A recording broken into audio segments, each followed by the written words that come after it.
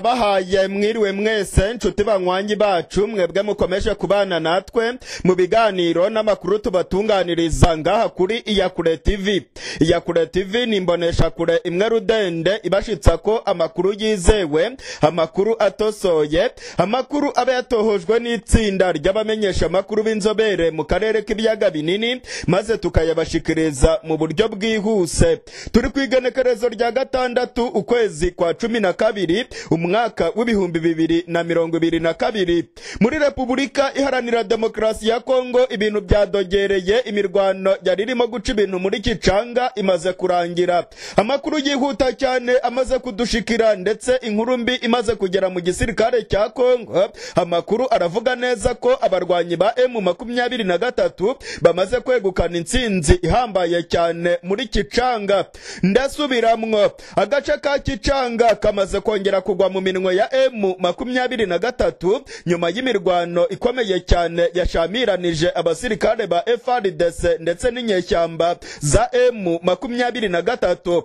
Mu mirwano ikomeye cyane yabereye hariya muri kicanga abarwanyi ba emu makumyabiri na gatatu birukankanye abasirikare ba FRDC nk'uko amakuru arimo kutugeraho arimo kubyemeza. Amakuru arimo gutangazwa na emu makumyabiri na gatatu amakuru kandi arimo kwemezwa na sosiyete sivile aravuga ko site ya kicanga yamaze kugwa mu minwe ya emu makumyabiri na gatatu. Amakuru aravuga ko abasirikare benshi ba FRDC bari bari ku rugamba bahisemo kwirukanka bagahunga nyuma yo kubona ko koroneli nzenze wa emu makumyabiri na gatatu yaragiye kubagotera hagati muri kicanga amakuru aravuga ko abasirikare ba FRDC nyuma yo guhatwa urufaya rw'amasase nyuma yo gucanwaho umuriro n'abarwanyi ba emu makumyabiri na gatatu abasirikare ba FRDC ndetse na FDLR bahisemo guhunga. Hari amasanamu yatangiye gukwiragira ku mbuga ngurukanabumenyi yerekana abasirikare ba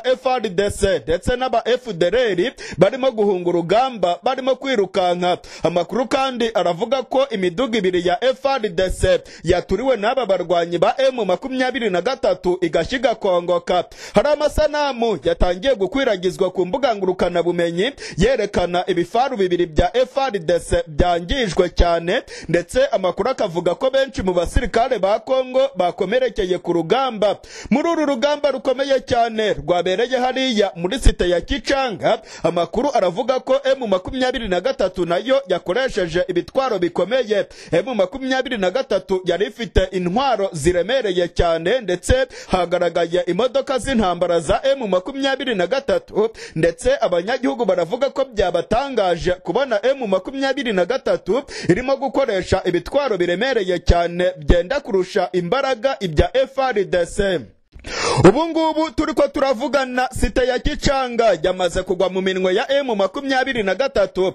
Emu na irimo kugenzura kicanga nyuma y'imirwano ikomeye cyane yashamiranije emu makumyabiri na gatatu na rero yari imaze iminsi irimo kugenzura kicanga FRDC na FDLR ku munsi w'ejo bakoze ibikorwa by'ubwicanyi no gusahura abanyagihugu b'abatutsi muri kicanga ibintu ngo byarakaje cyane emu makumyabiri na gatatu igahita ifata umwanzuro wo kwigarurira site ya kicanga. Mu mirwano ikomeye cyane rero yabaye kuri iri genekerezo rya gatandatu makumyabiri na gatatu yari irongowe na koroneli nzenze. Koroneli nzenze wa makumyabiri na gatatu niwe umaze kwegukana insinzi ihambaye cyane muri kicanga. Nyuma yo gukubita abasirikare ba fdr ndetse na FRDC bari bigize akaraha kajyahe barimo kuyogoza abanyagihugu muri kicanga amakuru arimo gutangazwa na emu makumyabiri na gatatu. Nyuma y'iyi mirwano aravuga ko abasirikare barenga cumi na barindwi ba FRDC biciwe ku rugamba. Amakuru kandi aravuga ko abasirikare barenga mirongo itatu bakomerekeye ku rugamba. Abandi benshi bakaba birukanse bagatoroka bagahunga. Muri iyi mirwano kandi emu makumyabiri na gatatu iravuga ko yangije ibifaru bibiri bya FRDC m makumyabiri na gatatu iravuga ko yafashe intwaro zikomeye za FRDC ikaba yafashe ibikoresho by'itumanaho bya gisirikare bya FRDC ndetse n'ibindi bikoresho bya gisirikare byafatiwe ku rugamba hariya muri Kicanga amakuru kandi aravuga ko abarwanyi ba FDLR aribo babanje kwirukanka bagahunga. Nyuma yo kubona ko koloneli nzenze yarakaye cyane ndetse ngo koroneri nzenze yakubise byihuta cyane aba basirikare ba FRDC na FDLR bari bahanganye hariya muri Kicanga kugeza ubu rero amakuru akomeye aravuga ko abarwanyi ba emu makumyabiri na gatatu nyuma yo kwigarurira kicanga bagiye gukomereza muri teritwari ya masisi. Ubu ngubu teritwari ya masisi niyo igiye gukontororwa n'abarwanyi ba emu makumyabiri na gatatu. Amakuru aravuga ko abanyagihugu b'i masisi barimo kugirirwa nabi n'inyeshyamba za fdrr ndetse n'abamayimayi. Iyi ngiyi rero ngo ikaba ariyo mpamvu emu makumyabiri na gatatu yafashe umwanzuro wo kubura imirwano ikomeye cyane ikirukana izi nyeshyamba muri masisi. Mu gihe rero imirwano ikomeye cyane ikomeje guca ibintu muri kongo i nairobi ho inama yari ihuje abahagarariye ubutegetsi bwa kongo ndetse n'imitwe yitwaje ibirwanisho muri kongo yamaze kurangira. Uhuru kenyatta yanebaguye cyane abahagarariye iyi mitwe yitwaje ibirwanisho mu biganiro vya nairobi. Abangaba kandi ku munsi w'ejo bari bateje indyane bateranye ingumu bararwana bapfa amafaranga. Ariko amakuru twamaze kumenya nuko peridiyemu yabo bamaze kuyihabwa. Ubu ngubu ibiganiro bimaze gusozwa ndetse imwe mu myanzuro yafatiwe muri ibi biganiro nuko imitwe yose ifashe intwaro hasi ndetse imitwe y'amakungu iherereye muri kongo igasubira mu bihugu byayo ngo ikajya kuganira na za guverinoma zabo maze kongo ikabona amahoro. Ngo nta mutwe witwaje ibirwanisho w'amakungu ugomba kuguma ku butaka bwa kongo ngo niyanga kubikora bazayihata urufaya rw'amasase bayirukane ku nguvu. Muri ibi biganiro kandi imwe mu mitwe yitwaje ibirwanisho yagaragaje ko ishaka kwinjira mu gisirikare cya kongo ibintu rero bitavuzweho rumwe n'abahagarariye ubutegetsi bwa kongo bavuga ko ngo iyi mitwe yagiye ikora ibyaha byinshi ndetse ngo byagorana ko yakwinjizwa mu gisirikare cya kongo gusa iyi ngingo ngo izakomeza kwigwaho hagati y'ubutegetsi bwa kongo n'imitwe yitwaje ibirwanisho. Ibintu birakomeye cyane rero imirwano irimo guca ibintu. Emu makumyabiri na gatatu yongeye guhangana na FRDC mu gihe abakuru b'ibihugu bari basabye ko imirwano ihagarara ndetse ibiganiro vyabereye i Rwanda bikaba byari byanzuye ko imirwano ihagarara. Emu makumyabiri na gatatu igafasha intwaro hasi igasubira inyuma. Ubu rero ibingibi ntabwo byigeze byubahirizwa. Imirwano yongeye kubura ndetse imirwano yongeye no kubura muri teritwari ya rucuru mu gace ka bwiza aho imirwano yakomeye cyane fdrr ndetse n'inyeshyamba zirongowe na generali janvier zikaba zagabye ibitero bikomeye kuri emu makumyabiri na gatatu. Mu gihe rero imirwano irimo guca ibintu ndetse emu makumyabiri na gatatu ikaba yagabweho ibitero bikomeye cyane emu makumyabiri na gatatu na yo imaze gutangaza ko yagabweho ibitero. Binyuze ku muvugizi wa emu makumyabiri na gatatu lawrence kanyuka abinyujije ku rukuta rwiwe rwa twitteri amaze gutangaza ko frdc ndetse n'abambari bayo bagabye ibitero bikomeye cyane kuri emu makumyabiri na gatatu mu gace ka bwiza. Ibi bitero bya frdc ndetse n'abambari bayo kandi birimo no kubera mu tundi duce dutandukanye nk'uko amakuru turimo kuronka arimo kubyemeza. Amakuru aravuga ko inyeshyamba za fdrr zifatikanije n'abasirikare ba kongo barimo kugaba ibitero bikomeye cyane kuri emu makumyabiri na gatatu mu duce twa bwiza. Kugeza ubu turiko turavugana imirwano iracyakomeye ndetse harimo kumvikana urusaku rw'amasase ariko abari ku rubuga rw'imirwano baravuga ko emu makumyabiri na gatatu ikomeje kwihagararaho. Lawrence kanyuka uvugira emu makumyabiri na gatatu rero amaze gutangaza ko emu makumyabiri na gatatu igiye kwirwanaho ndetse ngo emu makumyabiri na gatatu iraza gukomeza kurinda abasivile. Ibitero bikomeye cyane by'izi nyeshyamba za fdrr zirimo gufatikanya n'ubutegetsi bwa kongo mu yandi makuru kandi nk'uko nabibabwiye mu masaha ashize imirwano ikomeye cyane irimo kubera muri site ya kicanga muri kicanga ibintu byadogereye. Abarwanyi ba emu makumyabiri na gatatu bamaze kuhagera. Abarwanyi ba emu makumyabiri na gatatu barimo gucakirana n'inyeshyamba za fdr ndetse n'abasirikare ba kongo frdc ikaba irimo guhangana na emu makumyabiri na gatatu buri ruhande rukaba rushaka gukontorora site ya kicanga. Muri iyi mirwano rero yongeye kubura uruhande rwa leta rukaba ari rwo rwatangije iyi mirwano. Emu makumyabiri na gatatu yo ikavuga ko irimo kwirwanaho. Imirwano yahereye muri bwiza ndetse amakuru twamenye nuko abarwanyi ba emu makumyabiri na gatatu barimo kwirwanaho mu buryo bukomeye cyane. Ariko na hariya muri kicanga muri teritwari ya masisi naho ibintu birakomeye. Emu makumyabiri na gatatu yamaze kugota umujyi wa kicanga makumyabiri na gatatu ubungubu imereye nabi abasirikare ba frdc amakuru akavuga ko isaha ku isaha emu makumyabiri na gatatu yaba igiye kwegukana intsinzi muri kicanga.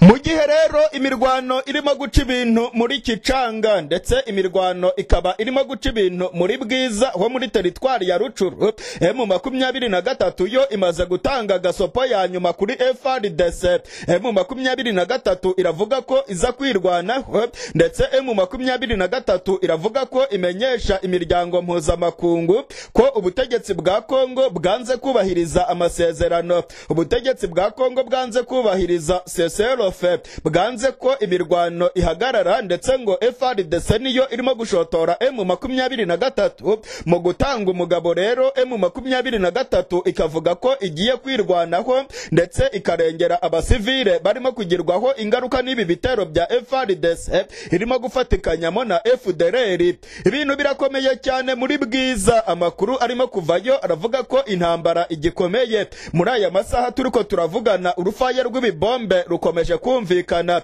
Ibintu birakomeye cyane rero ndetse amakuru yandi aravuga ko ibitwaro bikomeye birimo gukoreshwa muri iyi ntambara. Mu gihe emu makumyabiri na gatatu na yo yakoze ku bitwaro byayo ubungubu rero urugamba rukaba rwabaye isibaniro. Amakuru arimo kutugeraho aravuga ko abarwanyi ba emu makumyabiri na gatatu biyemeje kurwana ndetse abarwanyi ba emu makumyabiri na gatatu nyuma y'uko bashotowe ubungubu bamaze kugenda basatira teritwari ya masisi. Abarwanyi ba emu makumyabiri na gatatu bafite gahunda yo gucakira teritwari ya masisi. Abarwanyi ba emu makumyabiri na gatatu kandi biravugwa ko bamaze kwitegura ibitwaro byabo byagaragaye byerekeza hariya muri masisi. Hagaragaye imiduga miremire y'abarwanyi ba emu makumyabiri na gatatu n'ibitwaro bikaze ndetse ibi bitwaro bikaze ni byo byakoreshejwe hariya muri kicanga mu mirwano ikomeye cyane. Amakuru kandi aravuga ko aba barwanyi ba emu makumyabiri na gatatu barimo kwitegura guhangana n'ibitero bikarishye cyane bya frdc nyuma y'aho agahenge kongeye kwangizwa. Ubungubu rero ngo nta kabuza imirwano ikomeye cyane igiye kubura muri iyi minsi. Intambara ngo igiye gukomera kubera ko frdc yahisemo intambara ikanga ibiganiro na emu makumyabiri na gatatu. Mu gihe kandi imirwano irimo guca ibintu irya nino muri teritwari ya masisi ndetse na rucuru amakuru aravuga ko perezida kisekedi nawe ageramiwe. Perezida kisekedi hari amakuru avuga ko abasirikare bakomeye bashobora kumukorera kudeta. Amakuru y'uko perezida kisekedi yaba agiye guhirikwa ku butegetsi yatangiye kuvugwa muri repubulika iharanira demokarasi ya kongo ndetse biravugwa ko abasirikare bakomeye batarimo gucana uwaka na perezida kisekedi nyuma y'aho atangaje amajambo akomeye cyane ku gihugu cy'u rwanda. Amakuru aravuga ko politike y'ikinshasa ubungubu irimo igitotsi gikomeye cyane. Harimo ukurebana y'ingwe hagati y'abajenerali ndetse n'abategetsi bakomeye muri kongo ubungubu perezida kisekedi akaba arimo kwikanga igiti n'ibuye. Muri kicanga muri teritwari ya masisi ibintu byakomeye imirwano irimo guca ibintu. Amakuru yihuta cyane avuye muri teritwari ya masisi aravuga ko harimo kuba imirwano ikomeye cyane. Inyeshyamba za emu makumyabiri na gatatu zirimo gusakirana n'igisirikare cya frdc amakuru arimo gutangazwa n'abanyagihugu bo muri teritwari ya masisi aremeza neza ko guhera mu masaha ya nyuma ya saa sita kuri iri genekerezo rya gatandatu imirwano ikomeye cyane irimo guca ibintu hariya mu gace ka kicanga amakuru aravuga ko igisirikare cya leta kirimo kugaba ibitero muri kariya gace ndetse emu makumyabiri na gatatu ikaba ihanganye na frdc buri ruhande rurashaka kurongora aka gace ka kicanga amakuru yihuta cyane avuye ku rubuga rw'imirwano muri teritwari ya masisi aravuga ko abasirikare ba frdc bafite ibitwaro biremereye cyane bagabye ibitero muri kariya gace. Barimo guhangana n'inyeshyamba za m makumyabiri na gatatu nazo zishaka gukontorora agace ka kicanga. Nyuma y'aho ku munsi w'ejo habaye ibikorwa bikomeye cyane mu gace ka kicanga. Muri site ya kicanga inyeshyamba za fdr zishe abanyagihugu ndetse zisahura amaduka y'abatutsi amakuru akavuga ko benshi baborejwe akagufa ku munsi w'ejo kubera ko abarwanyi ba emu makumyabiri na gatatu bari baravuye muri uriya mujyi wa kicanga ubu rero abarwanyi ba emu makumyabiri na gatatu barimo guhangana na frdc barashaka kongera gufata aka gace ka kicanga ngo kagwe mu minwe ya emu makumyabiri na gatatu. Ibintu bikomeye cyane kuko frdc irimo gukorana na fdr imirwano ikaba ikomeye muri kicanga abanyagihugu bo muri kicanga barimo guhunga. Bagaragaye bikoreye twa matera abandi bafite udukoresho tw'ibanze barimo guhungira mu bice bya masisi bakavuga ko imirwano irimo guca ibintu. Emu makumyabiri na gatatu rero ikaba irimo gushaka kwigarurira kariya gace kinjira neza muri teritwari ya masisi. Mu makuru twabagejejeho mu masaha yatambutse twababwiye ko hari ibimodoka by'intambara ndetse n'ibitwaro bikomeye cyane bya emu makumyabiri na gatatu byari birimo kwerekeza mu gace ka kicanga ndetse bikaba bishaka gukomereza muri masisi. Ubu rero urugamba rugeze aho rukomeye cyane. Emu makumyabiri na gatatu iravuga ko ishaka guhagarika ibikorwa by'ubwicanyi birimo gukorwa na frdc ndetse n'abamayimayi na fdr hariya muri kicanga ndetse no mu bice bitandukanye bya teritwari ya masisi aho emu makumyabiri na gatatu ivuga ko frdc na fdr barimo gukora ibikorwa by'ubwicanyi birimo kwibasira abo mu bwoko bw'abatutsi. Emu makumyabiri na gatatu rero ngo igomba guhagarika ibyo bikorwa byose. Amakuru yizewe arimo kuva ku mirongo y'urugamba muri teritwari ya masisi aravuga ko ibintu bikomeye cyane. Harimo kumvikana inkoho zikomeye. Hariya muri site ya kicanga harimo kubera imirwano ikomeye cyane. Abarwanyi ba emu makumyabiri na gatatu bamaze kuhasatira. Abarwanyi ba emu makumyabiri na gatatu barimo guhangana na frdc ndetse amakuru ya nyuma arimo kutugeraho muri aya masaha turiko turavugana. Aravuga neza ko abarwanyi ba generali sultani makenga bariye karungu ndetse ko biteguye gukubita frdc muri aya makuru kandi ni bwo tumaze kumenya amakuru akomeye cyane avuguruza ayo twari twaraye dutangaje. Mu makuru yacu twaraye dutangaje twababwiraga ko igisirikare cya frdc cyari kirimo kwigamba ko cyishe koroneli nzenze wa emu makumyabiri na gatatu. Byari ikinyoma ntabwo byigeze bibaho rwose. Amakuru tumaze kumenya avuye muri kicanga. Aremeza neza ko koroneli nzenze wa emu makumyabiri na gatatu ari we urongoye urugamba rw'abasirikare ba emu makumyabiri na gatatu barimo guhangana na frdc ku munsi w'ejo rero twari twabatangarije amakuru yavugaga ko igisirikare cya kongo cyaba cyarashe koroneli nzenze. Abasirikare ba frdc bigambaga ko barashe koroneli nzenze wa emu makumyabiri na gatatu ndetse bakavuga ko bari bamurasiye muri bwiza mu mirwano ikomeye cyane yabaye hariya muri teritwari ya rucuru frdc yavugaga ko mudahusha wayo yarashe koroneli nzenze ndetse ngo akaba yari yapfanye n'abasirikare benshi ba emu makumyabiri na gatatu. Byamaze kumenyekana byari ikinyoma gikomeye cy'abasirikare ba kongo ntabwo koroneli nzenze yigeze araswa. Ibingibi kandi byemejwe na majoro wiringoma wa emu makumyabiri na gatatu wabwiye umumenyeshamakuru wacu ko ibirimo gutangazwa na frdc ari ikinyoma gusa gusa amakuru yihuta rero arimo kuva ku mirongo y'urugamba hariya muri kicanga aravuga ko koroneli nzenze wa emu makumyabiri na gatatu ari we urongoye abarwanyi kabuhariwe ba emu makumyabiri na gatatu barimo guhangana na frdc koroneli nzenze arongoye urugamba rwo kwigarurira kicanga mu gihe frdc yo yari irimo kwigamba ko yarayimwishe ibintu birakomeye cyane rero imirwano irakomeye. Abanyagihugu baravuga ko inyeshyamba za fdr zirimo kugenda zibahohotera. Hari abanyagihugu bo muri kicanga baraye babwiye abamenyesha amakuru ko fdr yakubaguye abigeme ndetse n'abapfasoni ndetse ngo fdr yagiye isahura amaduka ayandi ikayatwika kubera ko ngo ba nyirayo bari abatutsi. Ibi ni ibintu rero emu makumyabiri na gatatu ivuga ko irimo kwamagana. Mu gihe rero imirwano irimo guca ibintu muri kicanga i nairobi naho ibiganiro birimo biragera ku musozo. Umuhuza muri ibi biganiro hagati y'imitwe yitwaje ibirwanisho uhuru kenyatta yanebaguye cyane iyi mitwe yitwaje ibirwanisho. Ndetse uhuru kenyatta yavuze ko abakongomani ari abaturage beza ariko ngo kujya muri kongo bisaba gukomanga ntago ari ukunyura mu idirishya. Bityo rero ngo imitwe yose yitwaje ibirwanisho idakomoka muri kongo ngo igomba guhambira uturago twayo igatumuka igasubira mu bihugu byayo ngo igomba kugenda ikumvikana na za leta zabo maze ngo bagatanga amahoro mu burasirazuba bwa kongo. Ibi rero ni ibintu bikomeye cyane kubera ko inyeshyamba za fdr ziri muri kongo zivuga ko zirwanya ubutegetsi bw'u rwanda. Zavuze ko zidateze kuza mu gihugu cy'u rwanda ngo kereka u rwanda nirwemera ibiganiro. N'izi nyeshyamba zo mu mutwe w'iterabwoba zasize zikoze jenoside mu gihugu cy'u rwanda. Mu minsi ishize izi nyeshyamba zumvikanye zivugira ku maradiyo mpuzamakungu zivuga ko zishaka ibiganiro n'ubutegetsi bw'u rwanda. Ariko abihweza ibya politike bakabona ko ibi ngibi ari ukurota ku manywa y'ihangu kubera ko fdr yamaze gushyirwa ku mutwe w'iterabwoba ngo nta leta n'imwe rero yaganira n'umutwe w'iterabwoba kandi ngo fdr yarasize ikoze jenoside mu gihugu cy'u rwanda.